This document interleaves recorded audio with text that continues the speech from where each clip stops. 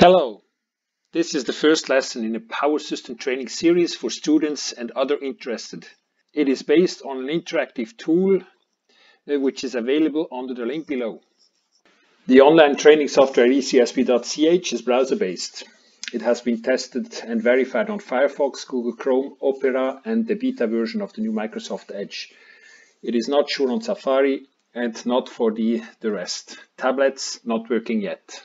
The tool is highly interactive. It allows the setup of quite complex networks and allows to change parameters and check the impact of these changes on the behavior of the network. In this lesson, however, let's start very simple with the following circuit. It's a source with a source impedance and a resistance. We assume that it is a balanced three-phase circuit, therefore representing only one of the three phases is, is enough. So this is the home screen. I will explain the details later. Let's directly go to the software, to the program. So we are now on the simulator. If there is already something on the screen, you can just erase it by going to the this button here and then you put onto the file, you put new and then you have an empty screen. Push this grid line button so that the elements snap to the grid before you start to drag and drop elements. Now you drag and drop the elements you need. Can select the element on the selection bar here. So as said, we go for a source and we double click on the source and we set the voltage to where we want it to be. Let's say 310 kilovolt. I just want to see the voltage trace. 50 Hertz is already preset. You can change if you want and that's okay. Then I go to the inductance and I set it to 100 millihenries. Here I do not want to see a trace.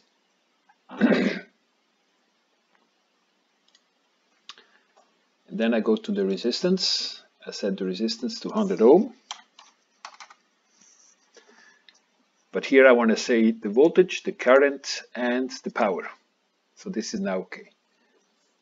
Now I want to assemble my very simple network. First of all, I want to rotate the inductance. It's a double click on the right mouse button. And then you connect it to the source. You see here now the connector is lighting up, the red circle. Then I do the same with the resistance. I bring it close to the connector. So now the elements are connected. The only thing which is remaining to close the circle is that I need to put a line, a connection line between the one connector. So I click on the connector and I have my line and I just go to the second connector and click again and then the network is connected. Now I want to run it. Click on the green arrow. I set the simulation time to 20 milliseconds. Let's double it. I go to 40 and I go to let's say 400 steps for these 40 milliseconds. Let's run it, let's see what happens. So I have now my screen here with the curves. I just increase the size of the screen a little bit. So it's very simple, you just drag and drop it. and now you see this is now one run but I want to go to uh, looping. So I just put the loop here and now I have an infinite drum. You can see how the time is running here. And now what is very unique to this program, I can now start to change the elements. So I just go to the, cur the cursor, I put the cursor on one of the elements which I want to change and I can now adapt the values of these elements. You can see how I can adapt now the value of the resistance. Accordingly, the phase shift between the source voltage, which you can see here, and the load voltage is changing. The amplitude of the load voltage is changing and I can play around. The red curve is the power curve. And I can now change values of whatever element you want to have. So this is the way how you can train yourself and get acquainted to what happens if elements values are changing in the grid. So I was quite quick now and therefore I want to slow down and go step by step. The link below here will bring you to this page. On this page you see a couple of things. First of all, down there you see examples. So if you push on one of these examples, you will launch a video and on top of it you will also load the network uh, so that you can directly start the simulation yourself. So this is just a demo what I just said. We push on this one, then we get the video. If we do not want to see the video, here is the network and you can go back to the home page like this. That's it. On top of the page you have four tabs here. The most important is the tutorial tab where you find some uh, tutorials about how to use the program, then some information about myself, some news and the home. This is the one we are looking at now. These two push buttons here and here bring you to the simulator. This one is a public and free version and this one is a much more sophisticated and more powerful members version. You can access it for a yearly fee of 20 francs, which is very low. So this is an important comment here because if you leave the browser, normally all your elements will disappear. So you have all the time to start again to build up your network from scratch. If you don't delay the history, you will always go back to the network as you left it when you left the browser. So to simulate and build up our very simple network, let's now make the next step. Let's click this button here and then we enter the software. So this is the demo. We click on this one and then we are on the software platform. Before you start dispatching the elements, please switch on this one. This is the grid line so that the elements snap to the grid. It's easier. Let's now drag and drop the following three elements. These are the elements we need for our small little demonstration network. One, two, three. Often we want to rotate one of the elements, for example by 90 degrees. You can do that by right clicking on the mouse.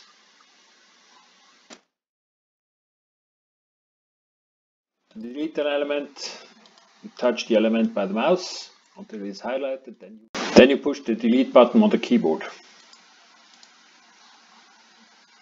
All elements have connectors. The connectors appear as a red circle when the mouse touches it. This red circle also appears when two connectors of two different elements come close to each other. As soon as the red circle appears and you leave the mouse button, both elements snap to each other and connect. All elements also have an input mask. You double click on the element and then this mask appears where you can enter the data. In this case it's just a resistor, so you input the resistance and you can also click on those traces you want to see later on on the graph. So to connect the elements to each other, you drag and drop uh, an existing element until the red circle appears. And then you relieve the mouse button and then they connect to each other. Instead of connecting elements directly by touching each other at the connector, you can also connect them by putting a line between two connectors. This is how it works. First of all, you touch the open connector uh, with the mouse until the red circle appears. Then you click, left click on the mouse.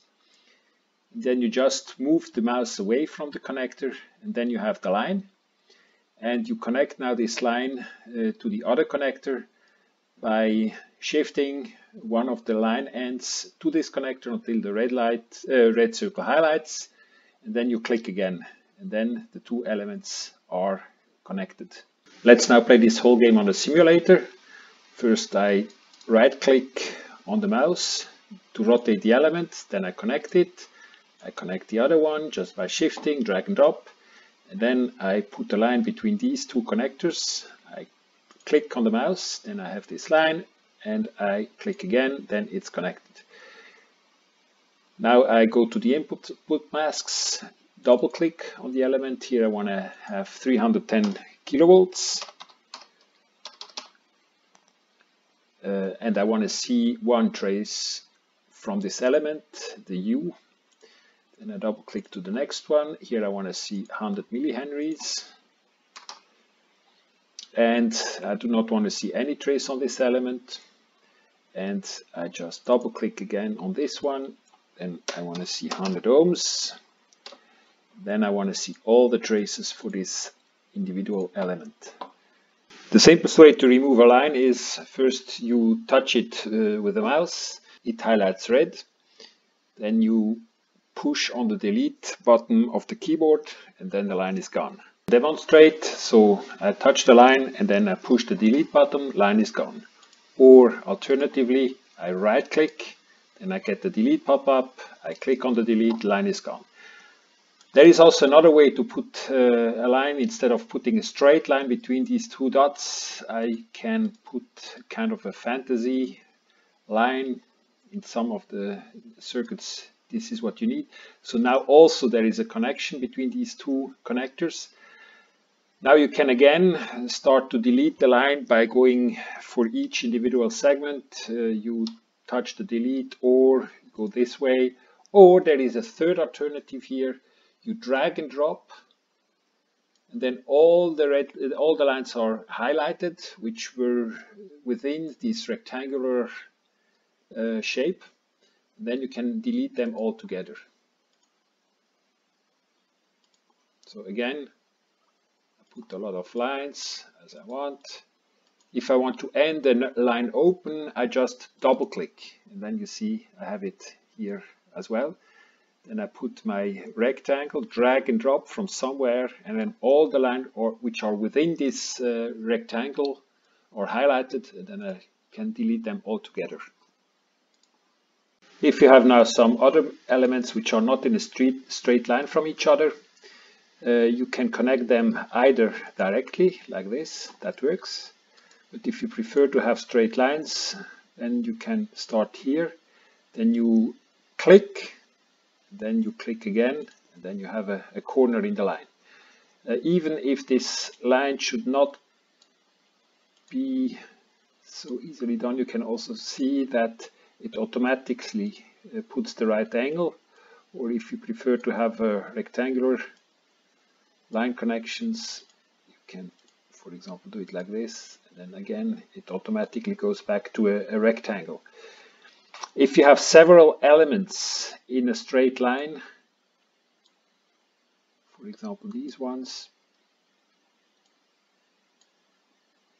so you can connect them all together just by clicking on two connectors and then the third element is also connected as you can see here. Huh? So all the dotted connections are really connections which uh, are working. So let's move away, remove the line. Let's remove the elements. So, so once the circuit is okay, uh, then you can input the data in the data mask. So you just double click on all the elements, then the mask appears and you enter the data. So now our circuit is ready and we want to see traces we want to have a run, there are two options. Either you click on the green arrow and then the simulation runs. However, if, it's, if it is the first run, you have to first always input uh, this data into the simulation controls. That means that if you push the green arrow, automatically you will get this input mask, or you can directly push the new step mask and then this one appears and you can input the sim simulation times in seconds. So in this case, it would be 20 milliseconds, uh, or the number and the number of steps for the whole simulation time. And then you push OK, and then the simulation runs. If everything has been uh, entered properly, the green arrow is replaced, by a red circle, uh, and then you see uh, immediately you see this uh, screen popping up with the curves you wanted to see. You can move the screen around around by drag and drop. And you can also change the size, the size of the screen by touching one of the corners and dragging and drop one of the corners and then the screen, the size of the screen changes according to your needs. Let's now demo. So you see it has not been running before, so then this input masks pops up here. I want to see 20 milliseconds and uh, 200 steps are okay for this circuit. Let's run it. You see, red button. I get my curves here and I can change the size of the screen as I like it. So in case I want to have more than only two half cycles, I put on 4, 40 milliseconds, for example. Then I get 40. Maybe I should in increase a little bit the number of steps. I can put it to 1000 and then I can even go to 100 milliseconds here. So, you see. There is also an option to run the simulation continuously by pushing this button here with the loop sign. But before I do so, I should go to the new step and make sure that the following criteria is met. So the simulation time should be a multiple of uh, the frequency of the source because otherwise I will have a moving kind of uh, signal so my curves will be moving around on the screen. So once this criteria is done, then I can again, uh, first of all, push on the green arrow. And then the simulation is running. And once running, or even before it is running, I can push on this loop sign here. And then I have a continuous calculation of the curves. So you see now the simulation is running continuously. So I have this loop bottom highlighted in, in yellow and I have the green arrow changed into a red bottom. Now I have a continuous simulation and I have the traces of the elements I wanted to see. Now once the uh, simulation is running, either in continuous mode or just in transient mode in one step, I can now touch one of the elements I want to see with the mouse and then this shifter appears. And when the shifter appears, I can now drag and drop the shifter up and down and then during the calculation, I can change the value of the elements. And this is a very attractive feature because then you can see the impact the values of an element have on the whole circuit. Then I can stop my simulation. Not all the elements have such a shifter. It's just simpler elements, but as soon as I have combined elements, there is no shifter anymore. If I want to stop the simulation, I push on the red button here. Let's now de demonstrate the whole story with the simulator. So I want to run it. And then I push on continuous, and then you see this is now the continuous mode. I can shift around the shifter up and down, and I change the elements values.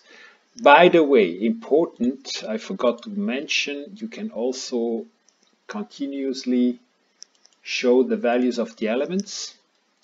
You just go to this push button here and then to element values on or off. On, off. I put it on off normally. So again, let's run it. We can again change the number of milliseconds I want to see. Let's go back to point two. Still I'm in continuous mode. Then I just want to demonstrate what happens if you do not have a multiple of the cycle time.